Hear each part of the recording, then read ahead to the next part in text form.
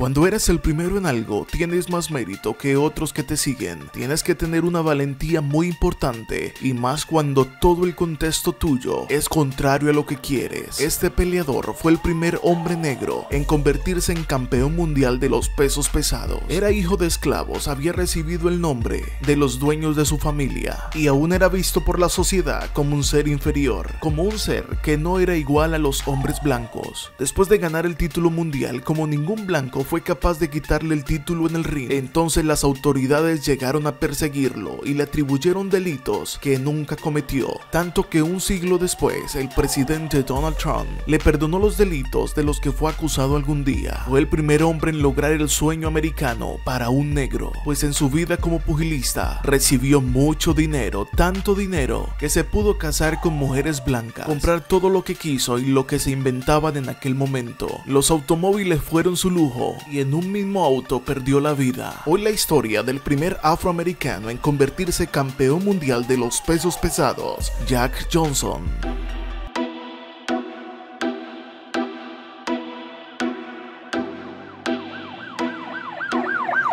Arthur John Johnson, más conocido como el gigante de Galveston, nació el 31 de marzo de 1978. Hacía solo 10 años se había firmado la emancipación de los hombres negros en los Estados Unidos, pero de todas formas seguiría siendo visto como un negro, un negro esclavo. Quiero hacer un paréntesis para poder entender esta historia y como la voy a narrar, tenemos que ponernos en el contexto de finales del siglo XIX y principios del siglo XX, porque entendiendo la historia de esta forma, hará que veamos a Jack Johnson como verdaderamente lo fue, un héroe para sus tiempos y para su raza.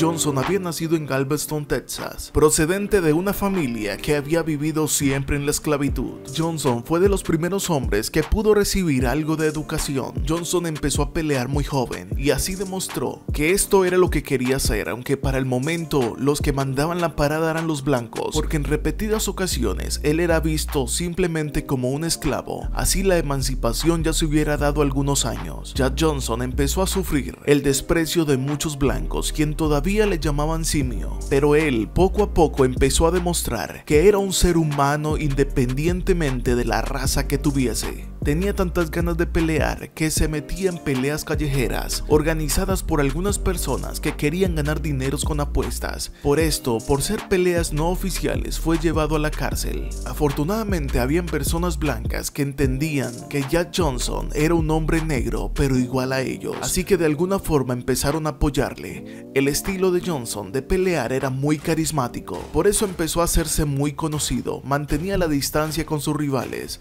en vez de realizar una aproximación constante, peleaba definitivamente a la espera del error del contrario. Cuando ese error se daba, él aprovechaba y atacaba salvajemente. Esto lo llevaría a ganar muchísimas peleas, hasta que debutó en el año de 1897. Ese día ganó la pelea, aunque en un principio tuvo muchos altibajos. Apenas estaba tomando su estilo, sin embargo dos años más tarde, las victorias empezarían a llegar, así como el dinero a su vida. En ese estilo tan particular de Johnson, era tremendamente efectivo, pero también fue muy criticado por la prensa, que lo consideraban un cobarde. Para algunos, él era un correlón, pero él sabía lo que hacía. Pero mire cómo son las cosas, poco tiempo antes de que Johnson brillara, había un hombre blanco llamado Jim Corbett, quien usaba la misma estrategia que utilizaba Jack Johnson, pero el hombre blanco fue catalogado como el hombre más inteligente del boxeo. Ahí están las diferencias, si el negro corría era un cobarde, pero si el blanco corría en el ring era el más inteligente del box.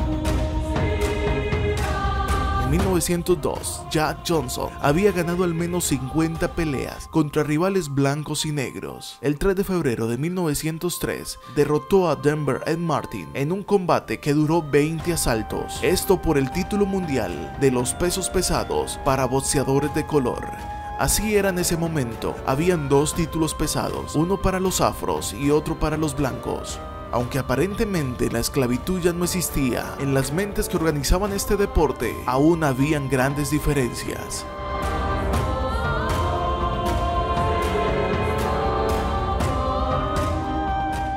Sus esfuerzos por lograr el título absoluto eran en vano, nadie le prestaba atención, él quería ganarle un blanco para convertirse en el campeón absoluto. El campeón del momento, Jane Jeffries, rechazaba luchar contra él, aunque blancos y negros podían pelear juntos en otras competiciones por el título mundial, aún no era posible. No obstante, Johnson consiguió pelear contra el antiguo campeón, Bob Fitzsimmons, en julio de 1907, a quien noqueó en tan solo dos asaltos. De insistencia para poder pelear por el título mundial absoluto contra los blancos, Jack Johnson logró su cometido y peleó el 26 de diciembre del año de 1908. El campeón para el momento era Tommy Burns. La pelea se dio en Sydney, Australia. Johnson mientras que peleaba se burlaba de Burns. Es más, cada vez que Tommy Burns iba a caer a la lona, Jack Johnson lo sujetaba impidiéndole que cayese al suelo, todo para seguir golpeándolo. La pelea se convirtió en una tremenda paliza, tanto que la policía tuvo que parar la pelea y rodear el recinto en el cual habían 20.000 personas. Jack Johnson ese día consiguió ser campeón mundial absoluto, no había diferencia entre blancos y negros,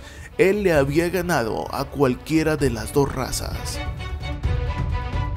Una vez ganó el título mundial, se convirtió en el hombre afrodescendiente más famoso del mundo. La gente en otras partes no podía creer que en Estados Unidos hubiese un campeón mundial negro.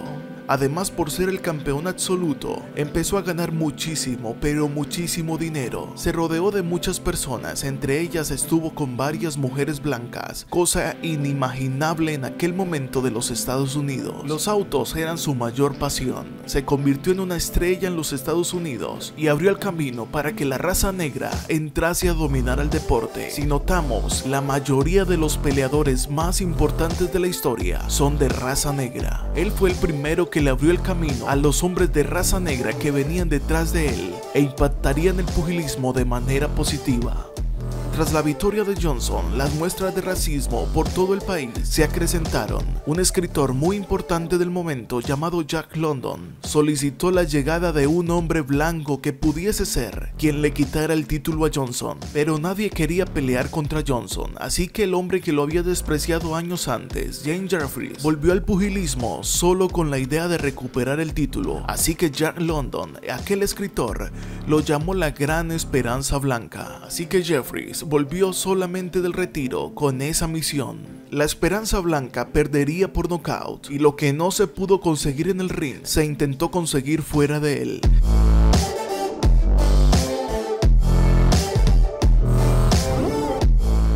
Tras la victoria de Jack Johnson sobre Jeffrey, los provocadores comentaristas como London empezaron una cadena de persecución, así que situaron al campeón en el punto de mira de las autoridades, hasta que en 1913 fue detenido y acusado por estar con una mujer con propósitos inmorales, un delito que se inventaron para poderlo meter a la cárcel y quitarle el título mundial así que él huyó del país y peleó por cinco años en otros países. A propósito, estuvo en tres países de Latinoamérica peleando, en México, en Cuba y en 1914 en Argentina. En 1915 perdió la pelea contra Jess Quillar, peleador blanco muy importante, y Johnson afirmaría después del encuentro que todo había sido arreglado para que el Departamento de Estado de los Estados Unidos dejase visitar a su padre antes de ingresar a la prisión. Johnson estuvo en la cárcel durante 8 meses y años más tarde se retiró definitivamente en 1938, cuando tenía 60 años, con un récord de 104 peleas, de las cuales obtuvo 73 victorias, 9 empates, 13 derrotas y 9 peleas que no terminaron o algunas en las que no se presentó. En 1946, solo ocho años después de haberse retirado, arribó a una cafetería en donde le negaron el servicio todo por ser negro. Entonces salió en su auto y en el camino tuvo un accidente perdiendo la vida. Años más tarde de haber perdido la vida, fue incluido en el Salón de la Fama del Boxeo para la justicia de los Estados Unidos, él era un hombre que había cometido delitos, pero un siglo más tarde el presidente de los Estados Unidos firmó un acta en la que era perdonado de todos los delitos y dejarlo como un hombre inocente, como realmente fue en su vida, un hombre que no cometió dicho delito. Esta es la historia de uno de los hombres que no le importó el difícil contexto en el que vivía y llegó para cambiar el mundo positivamente y darle al mundo una lección. No importa el color de piel, todos tenemos sangre roja y tenemos un ancestro en común. Así que no queda más de amarnos todos como hermanos. Si te gustó esta historia, te invito para que te suscribas. Los espero en el siguiente video si Dios lo permite. Bye.